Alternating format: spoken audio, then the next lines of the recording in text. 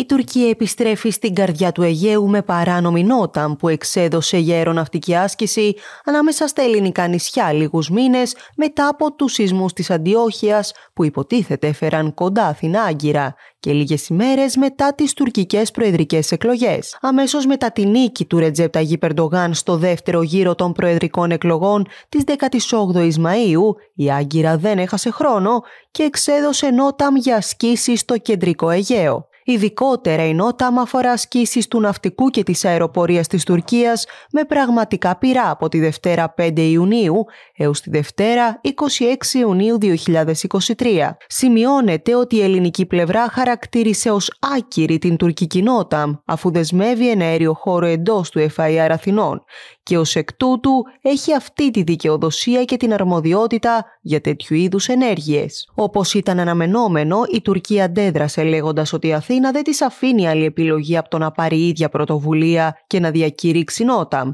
χαρακτηρίζοντας μάλιστα την περιοχή μεταξύ Ψαρών, Σκύρου και Άνδρου ως διεθνή ενέργειο χώρο.